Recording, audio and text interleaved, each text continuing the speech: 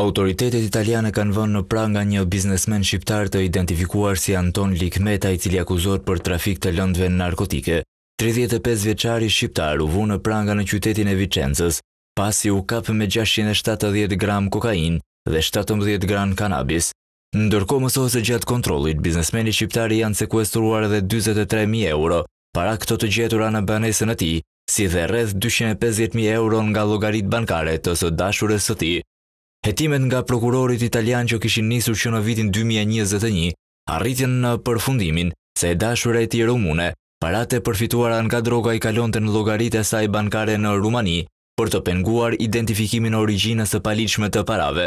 Këto llogari ishin krijuar në emër të personave të besuar të çiftit, Likmeta është pronar i një kompanie për tregtimin e automjeteve luksoze si Porsche dhe Maserati, teksa ngrihen dyshime se biznesin e përdorte për të pastruar paratë që përfitonte nga trafiku i drogës. Po ashtu, në mediet italiane bëhet e ditur se sipas hetimeve ka rezultuar se Likmeta prej disa kohësh menaxhonte një rrjet trafiku droge në të gjithë rajonin e Trivenetos dhe arrinte të bënte xhiro me qindra mijëra euro. Pas arrestimit të një personi në zonë, të cilit iu gjet një sasi droge, hetuesit gjetën burimin kryesor të shpërndarjes së lëndëve narkotike.